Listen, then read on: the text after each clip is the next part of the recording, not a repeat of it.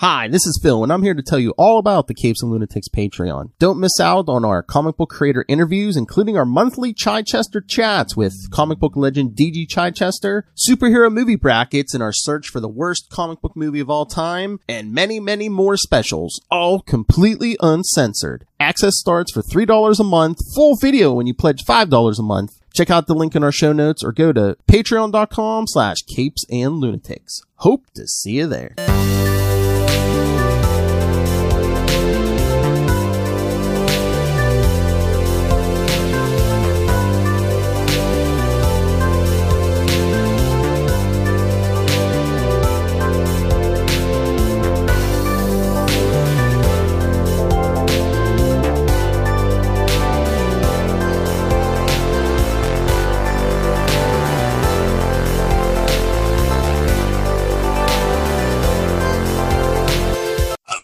Blast me hearties and welcome once again to Full Stream Ahead. Arr.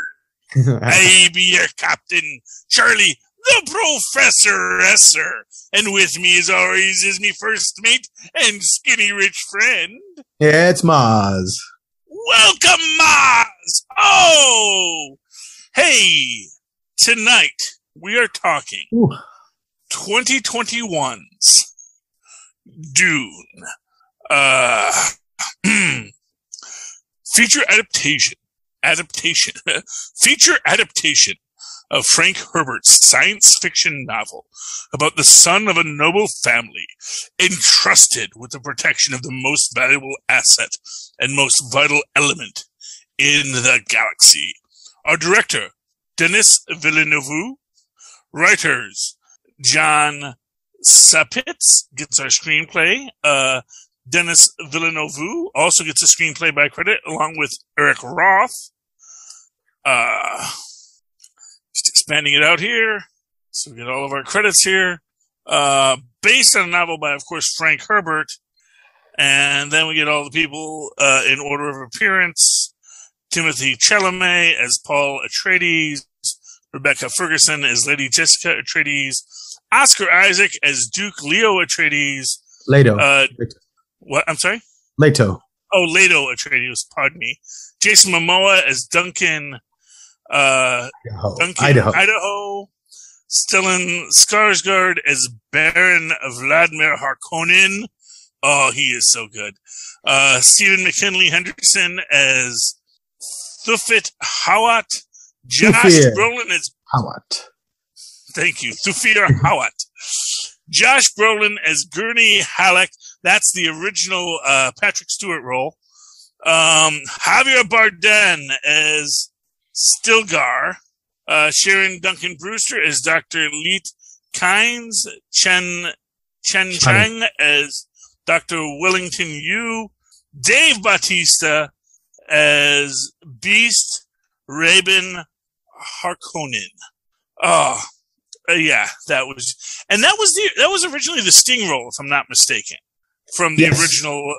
Yes. No, no. Sting was uh, the younger brother. Um, Oh, he okay. played the the the older brother, the the more the the fatter, older, crueler Ah. brother. I don't know if we've seen the Sting role yet. Then. No, uh, we have not. We didn't get very much of the House Harkonnen at all. I wish I would have gotten Yeah. more uh, of Rabban. And I feel like they condensed all the oppression of the Harkonnen over the Fremen people into like a montage. I could have done with more of seeing why we should be so fearful of Rabban or, or Rabin or however you want to pronounce it. Well, you see, but right there, I think that is the Mm. crux of it. So, and here's my grand unified theory of non fandom of what exactly it is the Emperor was trying to do. Because from a pure political standpoint, pitting the Harkonnens against the uh, Aristides, Atreides. are, are, are, uh, sorry, how do you pronounce it? Atreides? Atreides, pit, pit, pitting the Harkonnens against the Atreides makes perfect pol- political sense because you have your two big house rivals. Let's put them in a antagonistic relationship. Let's let them fight it out, undermine each other so that neither one rises to power against me. Right. what the Emperor is trying to do, based on my initial watching of this, is I'm very interested in this piece of this, by the way. okay. So here's the idea: he realized the Harkonnens are monsters. Hmm. The House Atreides are beloved. What I will do is I will give House Harkonnen the power, and he will do this sort of secret, secret, secretly. I will give House Harkonnen the power to destroy House Ar- Atreides, raising House Harkonnen, but then also creating this fear in the galaxy that could House Harkonnen unseat the Emperor? No, no, no, you must all rally to the Emperor because the Emperor is just and House Harkonnen is evil. He's actually effect- effectively creating a dichotomy of politics within this galaxy so that he can stand against Har- House Harkon- Harkon- Har- Harkonnen. Yeah, I always called them Harkorkians because from Huh. the David Lynch, they had the little things in their hearts. You pull them out. So they're Oh, interesting. That's funny. That was my little my little acorn uh, understanding of this. That's always my problem in, in, in this. Like I always called the uh, Bene uh, Bene Gesserit the the belly gesturet because I just assumed because this was the one Yeah. woman in the first one who she's pregnant, she has the baby, she's on the spice, Yeah.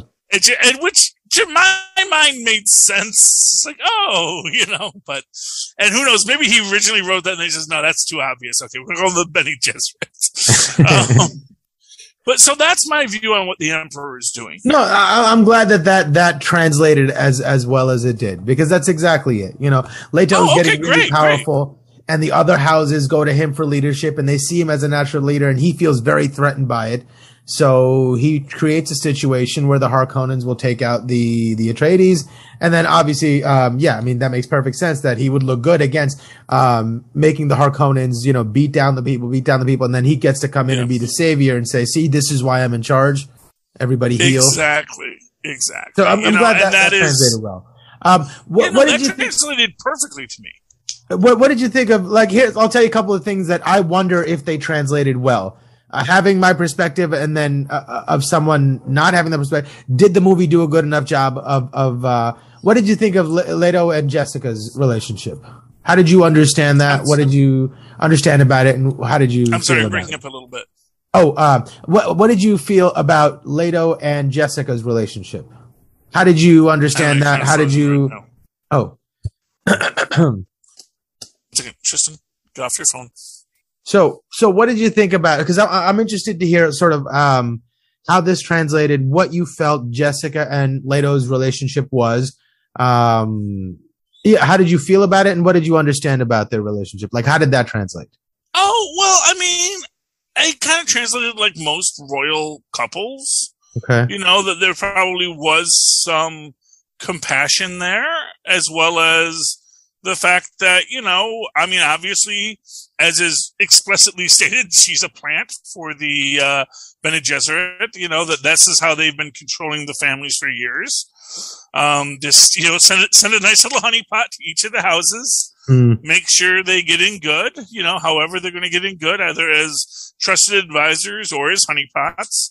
And, uh, you know, and that way the Bene Gesserit actually can sort of pull the strings subtly behind the, uh, the, uh, scenes because of course they have the ability to see the future and use the word of power and all that kind of stuff. So that's my take on it. But I do feel that there was some kind of, there, there was certainly love between, uh, Lady Jessica and Paul. Mm. Um, but I assume that there was something similar with Leto. I, I don't think that he was in any way, you know, he certainly, he, he certainly, I think he certainly cared for her, yeah. Yeah. you know, and I would imagine that she cared for him as well on some level, you know. Yeah, I, I feel like I feel like that's. I, I wish we got a little bit more of that because their story is is like they really, really deeply love each other, and Yeah. um, like there's there's so much more interesting political intrigue happening where um there's other things that happen that he feels um, other people are showing him that Jessica's responsible for. Like the fact that she was a Bene Gesserit uh, was always known. That was just the circles they traveled in and they fell in love. But she was she was actually a concubine. He couldn't marry her uh, because she was just a concubine. But that is the woman he loved, and but he wasn't able to marry her for political reasons and yada yada yada. Um, and all we got was a simple little line where he says, "I wish I would have married you," and it's so much more interesting than that, right? And so, like th- those situations yeah. where like he's he's uh, suspicious of her is not because she was a Bene Gesserit, because there were other things happening, and he was playing deeper political games where he had to act like he did think yeah. she was guilty and but she didn't know so she really is worried that he does and is uh, so much more and i guess you can't really go into it and what we got was was i guess good enough yeah like, yeah i mean that, that that's the problem is like you know that and that that I think is is is the filmmaker's dilemma. Yeah, because you're trying to tell this story. Now, what I will tell you is, I didn't get that much detail because mm. it's like you know you're you're like up to your eighth cross in that you know where it's like oh yeah this that the other but and and when you get to what the core of what the arc of the story yeah. is this is it's it I mean not to not not to be rude to it, but it's like the prequels, you know. I, I see. No, I, I get it. I get it. And there's so know, much. Like if you read Star Wars as a novel, if you read it as like this novelization over nine books with all this intrigue and in, infighting and all these characters, you know, you might actually come away with it. You might even say Star Wars. That's an unfilmable. That's an unfilmable movie hmm. because there's so much that goes on behind the scenes that it's just hard to translate into one film. And that yeah. is what I think is the best part of this is that it's not one film. Right. That right. is like the saving grace of this. And what I want to say about it to get to the end of this film is it's not the end of this film, but it is the end of a chapter. And in fact, it's actually called chapter one. You know, it's Dune chapter one. Right. And how much we're going to get in chapter two and three is up for debate. Honestly, this could go to chapter nine. I'm not going to be mad about it if it's this quality. Although I think they don't need to do two hours worth of it. I mean, that's I, my I, point. That's the other part of it. It's like it's two and a half hours long, and they took so much time on certain things. Uh, and, and whereas I, I feel like that time could have been spent more interestingly uh, building up the world, building up the political intrigue and, and the well, little goings on between people and what relies on this and what can't happen and consequences for this. That would have been way, way more interesting than focusing on, you know, like 10 minute shots of them just sitting there or walking through the desert, a giant explosion, which well, was nice. But, but, here's the thing. Here's the thing. And here's what it is, is that 10 minutes of story may, and this is a picture's worth a thousand words. You know, 10 minutes of story can take much longer to tell than seeing some amazing visuals. And I do right. want to talk about the visuals here because I mean, I don't know if they had the dragonfly, the, the, the, the hopters, I think they called them. Hopters. Yeah, the, the, the little dragon, uh, which I, I am wondering about the physics about. Is that in any way possible? but you know what? It's a, it's a ludicrous concept because it was written in 1965 and it's about a society of people that have forsaken all artificial intelligence of, or any thinking machines, right? So they can't have. See, I didn't know that.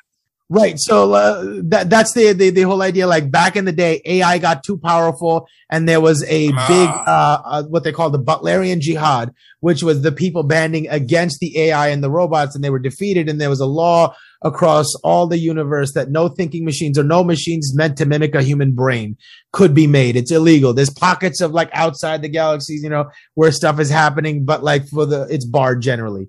Um, so they have like these machines that are kind of like quaint and almost steampunkish because they're forced down different roads of thinking because they don't know any better sometimes. So sometimes you get like these thopters. And in the old movie, it's like a really weird concept to try to make modern, but I thought they did a really, really good job of making them like supersonic speed. Um, yeah, no, that, that worked for me. That was like, I thought it, it, looked cool.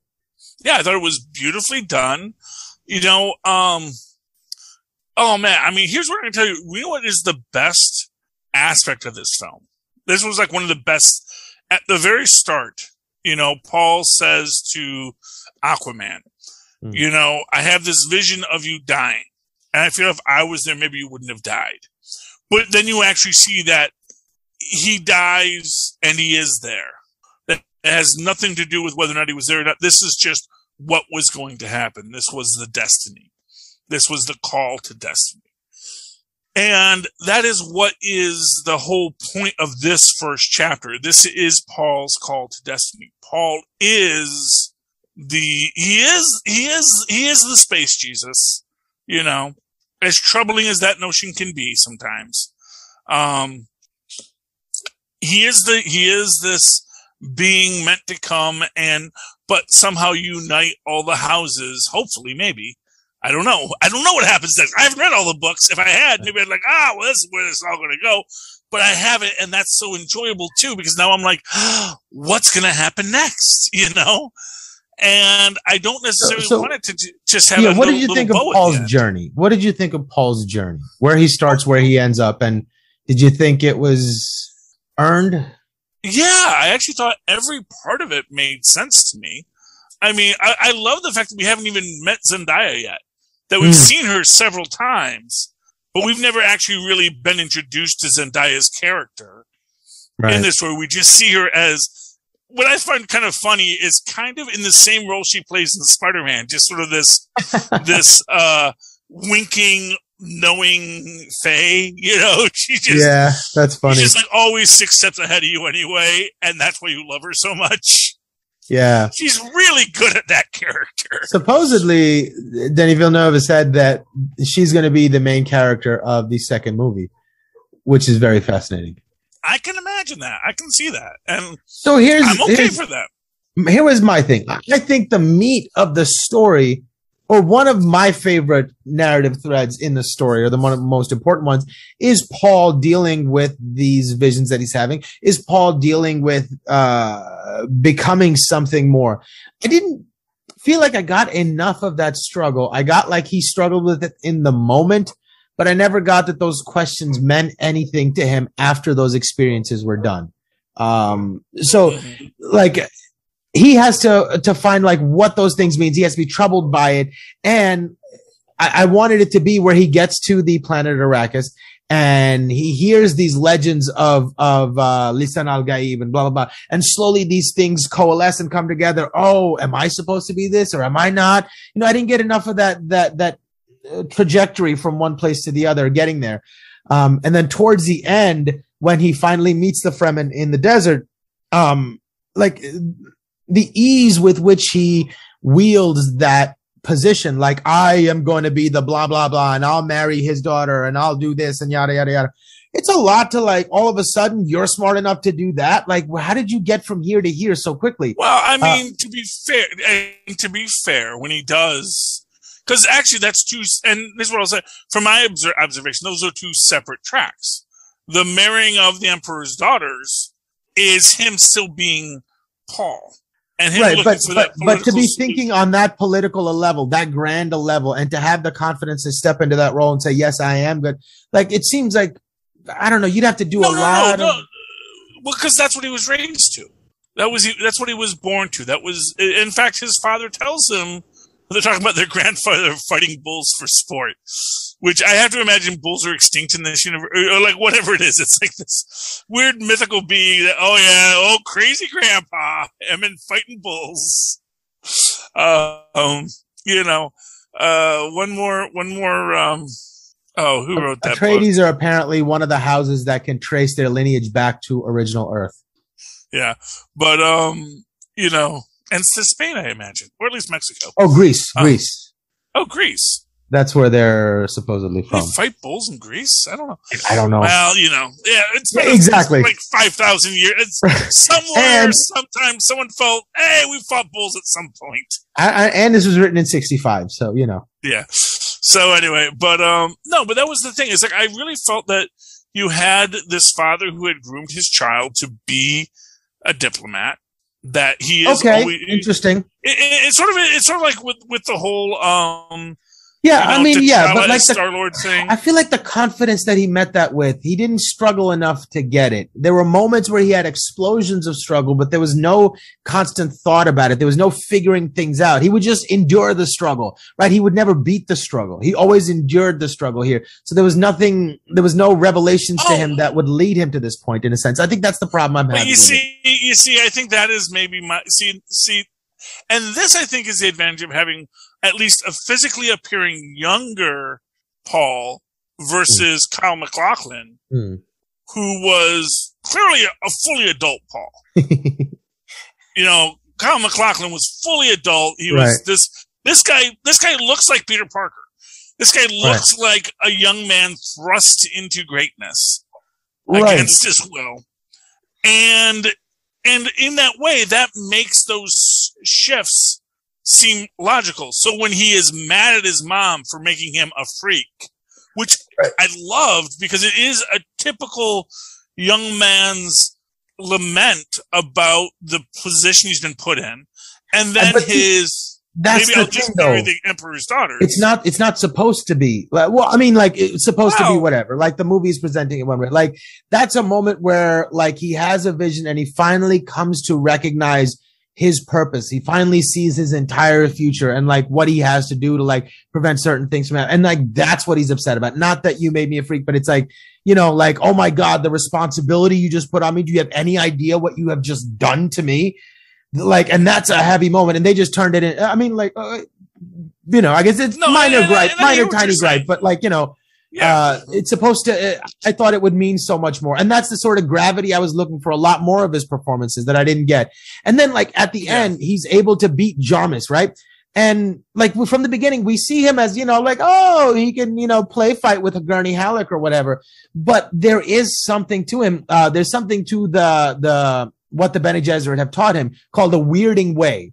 And it's like this, this Mhm. ethereal concept that's really hard to describe, kind of like the force, I guess, or whatever. But they have a way of like making you do things or like, uh, some sort of magic. They don't really describe, but there is something to them that makes them pretty potent at fighting. Um, and like we see him as, you know, just like a, a a noble kid, you know, a teenage from a noble family, probably really can't fight. He practices with Gurney and all of a sudden he's beating this Fremen guy. I wish we could have seen some more early, um, indications of his, okay. uh, command of, of fighting. so Um, and then on is, top of that, also when they meet the Fremen Mhm. and that scene with uh, Jessica fighting Stilgar, I felt I wanted more out of because she's like a capable Bene Gesserit, w- capable in the weirding way.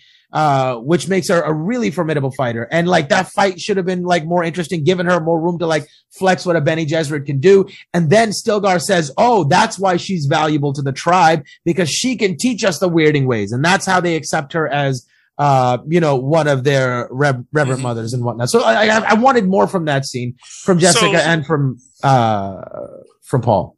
Okay, and I I hear that and I can understand that. Um, here's my take on it, Hmm. which is so. Here's one of the things that really bugged me about this film is to me all of the fighting sequences looked way too choreographed. It looked Oh. like fight scenes out of West Side Story, you know, where it's like a lot of the movements, but then it strikes me w- would you say it was also similar to Kill Bill, or was it different from Kill Bill in a way? I've never actually seen Kill Bill. Okay, never mind. Okay, never mind. So no, no, but this is like to me, it's more like the way they fight. It's much more like okay, you make a move now, I'll make a move, and but here's the thing, and this is what makes it make sense is when earlier on in the film, um, Paul is watching the video of how like the way that uh Fremen walk because you have to walk in a way that mimics the desert. And it is just like you take a step, then you move to the side, then you do a sweep because you're trying to not have that rhythm of pound, pound, pound, pound, which for what it's worth, people are running all throughout this. And, you know, it only, No, it only I- I think the idea is, you know, to. you're you're just bettering your chances. You know, chances are you might not see Yeah. a worm. You could run across it, but like if you think But there's if- a worm around, you know, do that. But it makes sense that anyone going to this world would know that. That as you go into this world, you're going to know that that's how you have to fight. That's how you have to move. It has to be this musical, arrhythmic dance. at all times. And that is sort of one of these little things where it's like, oh, that's why they're moving like that. That's why. I think it's also because like the shields that they use, the personal shields, Mhm. have made it so that you can not really use projectile weapons.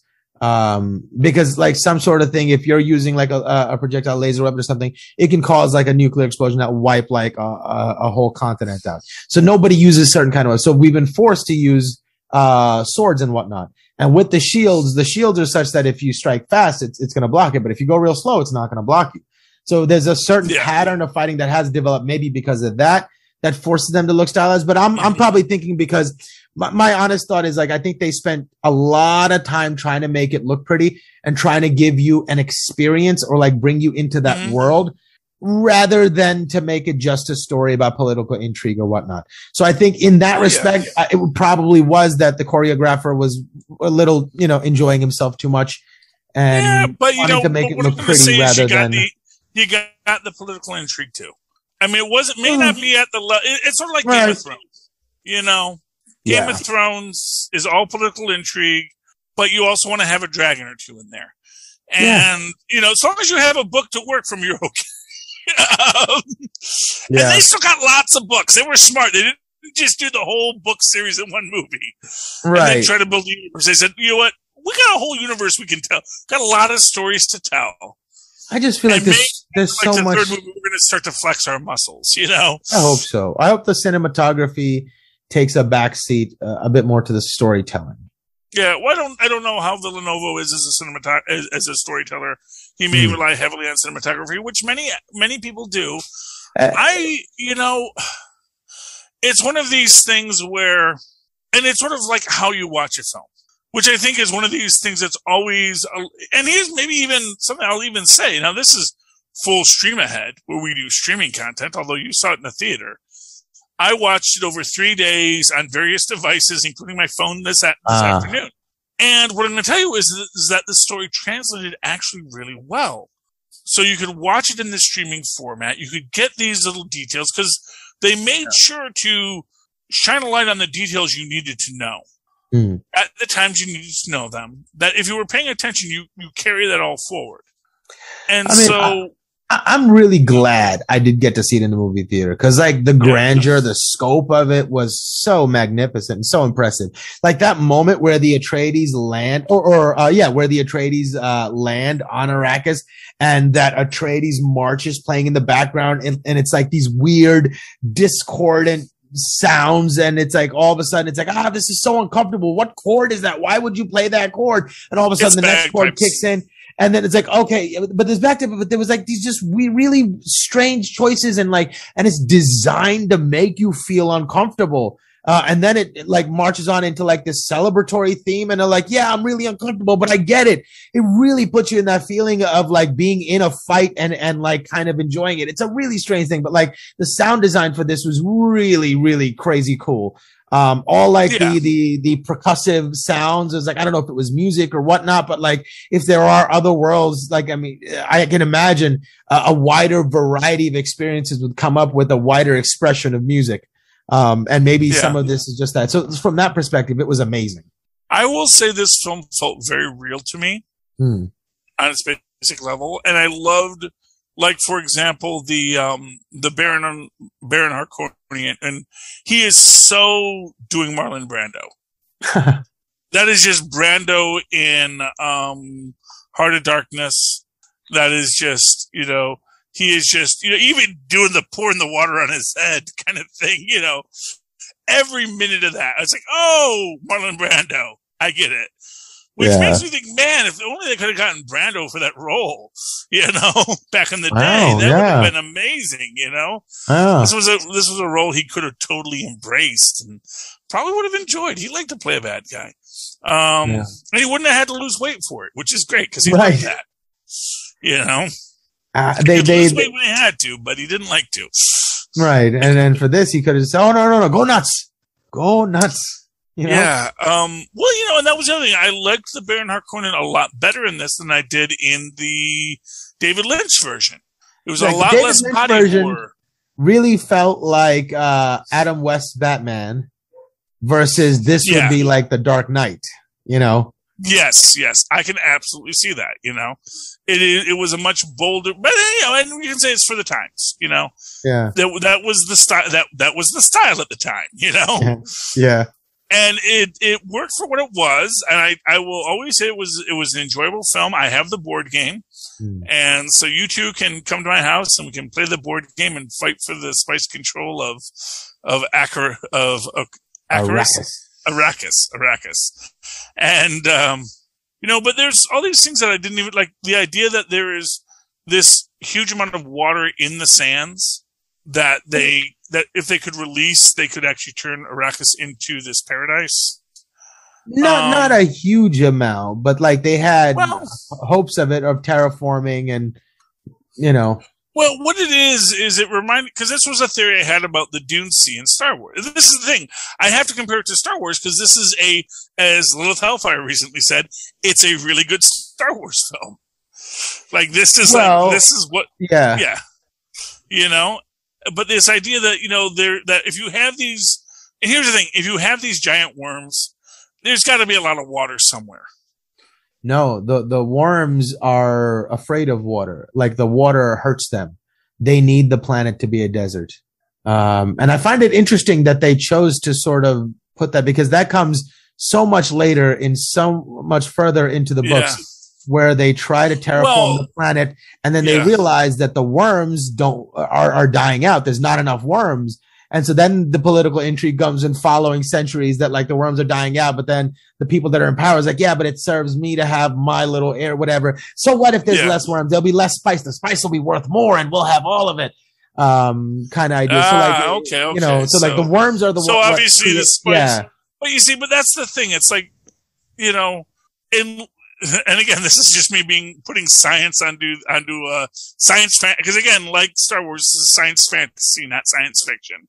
Right. You know, this is one where if you if you just eat the right mushroom, man, you can travel anywhere you want to. Um, and that is the premise of the of the, of the pre- uh, presentation.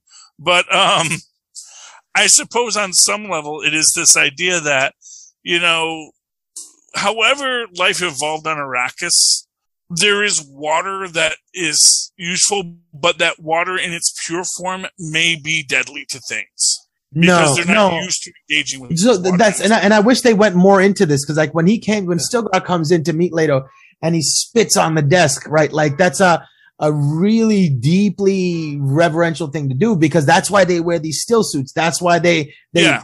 pee and poop in their still suits because that water gets converted their sweat gets converted tears everything gets converted so they can drink water water is life like that's like their religion the Fremen that live in the desert so yeah, yeah, yeah. water yeah. is uh, of such importance. So, so, so from that perspective, like, um, uh, that I wish they went into more uh, of how important water was to them or how religiously Well, they I looked mean- at the idea of water. Like when somebody dies, they'll like take his water because when they're in the desert, they meet them for the first time. Hey, let's take her water.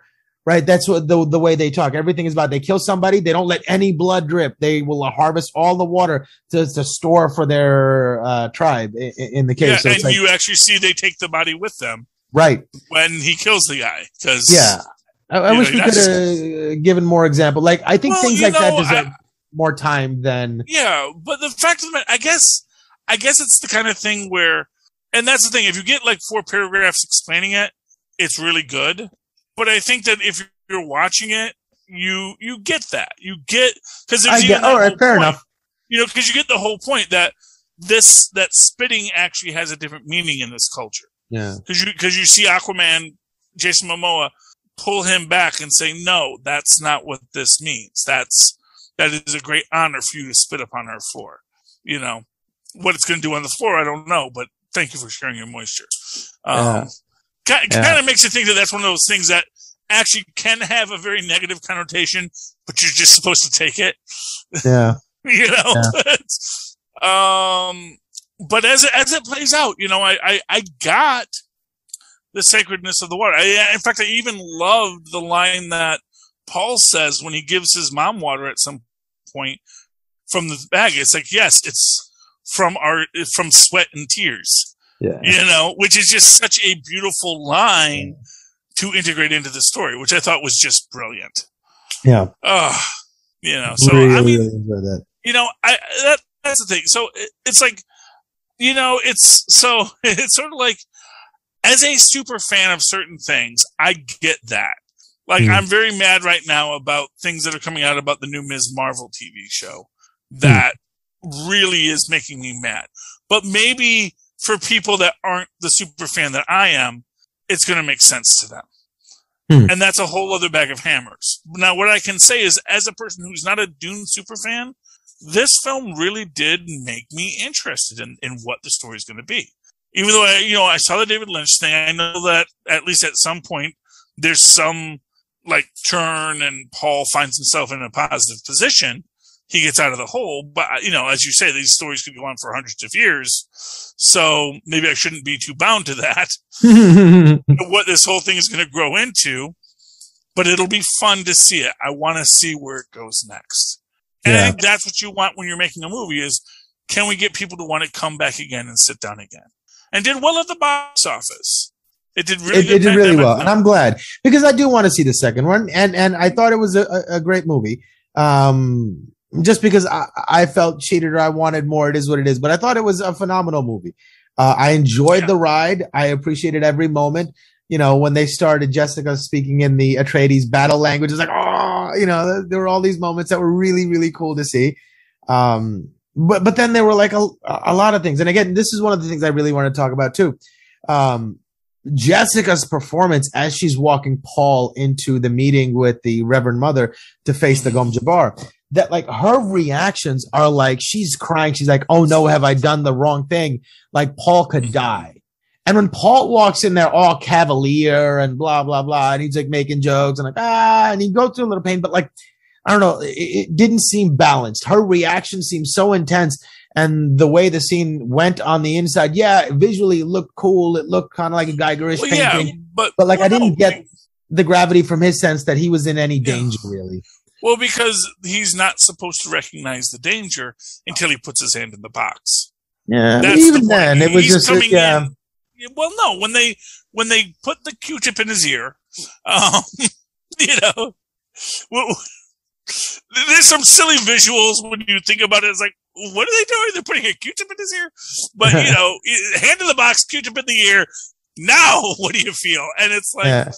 but you could, I got that he was really, he could feel the pain there. And that's where he felt the weight. I, I really felt that he felt the weight in that moment. He's cavalier at the start, expressly because, you know, he's, he's the Bonnie Prince, you know? Yeah. And he's coming in as the Bonnie Prince and he's expecting this to be just one more training sessions like he's gone through with his mom before. And it's a little more intense than that, but he survives it because, and that, But that's, that's, fine. It, it should have been more than a little more intense than you know. It's like Well, but the thing is, here's what I'll say about him. He is not a Mary Sue because he has to do it twice. You know, it's like there's one where he fails and one where he succeeds. hmm. And um, that's how you know that, okay, it's not a guarantee it's always going to work, but he can do it a little bit. In fact, I actually liked that little bit when he first tries to control the one guard. And she says, you know, you're a little pitchy dog. Yeah, he's yeah. like, Mom, I'm doing my best. You know, like but the said, way they handled the voice was great, Oh, great. yeah. Because in the old movie, it was kind of hard. Like, and when I was reading the book at first, like the way they talk about what the voice is, it always seemed to be more really about psychology. Right. Do you know how to like properly communicate what you're saying? Obviously done with like some elements of magic or whatever, but it's just an understanding of human psyche. And, and as like a, a salesperson, that's just really, really made me smile. Uh, but the way they handled it in the old movie was kind of weird. But the way they did it here, when he first says his, to his mother, give me the water, you almost feel like a shockwave where the sound doesn't happen and then it comes later. What a great and interesting way to present like that. It's, it's doing something, but it's something physical. It's not magical, but like it's stunt or something. But there's, there's, Yeah. there's something happening there. But it was a great way to f- show the physics of something happening, uh, that makes the voice work. I thought that was really, really cool. they're doing their best. They're doing their best, Mozzie. I thought that Okay. was great. I thought that was great. Okay. Um, any final thoughts on tonight's show? Um, no, the, no, and, and it's like that's the trouble I'm having with expressing myself when it comes to this. I don't know how to do it in a way that properly reflects the reverence I have for it. without feeling like I'm silencing my own criticisms to do it. You know, it's a, it's a weird, but I, really enjoyed it. I thought it was great. It gave me everything I wanted, but I wanted a little bit more. I guess I'll put it that way. Yeah, and and that you know that's fair. We always want more. Um, and you know it's the it's the old saying about the about the uh, Turkish shrug, and you must leave one knot undone because if you tied that last knot, it would be perfect, and only God can be perfect. So every imperfection must be left. You must always leave an imp- imperfection so that you are not. Searching for God. imperfections. You know where it is. It's a, it's a tiny little box right there. I don't have to drive myself crazy looking for it. Yes, exactly. And so there, there you go. I mean, like for me, as not a super fan, as a guy who's never read the books, but who appreciates the idea and symbology of of the of the of the uh, fandom and the mythos, um, it really, it really, it really struck me as well. You know, bit longer than I needed it to be, but that's okay. You know, I can live with a long movie. I lived through all the Marvel movies.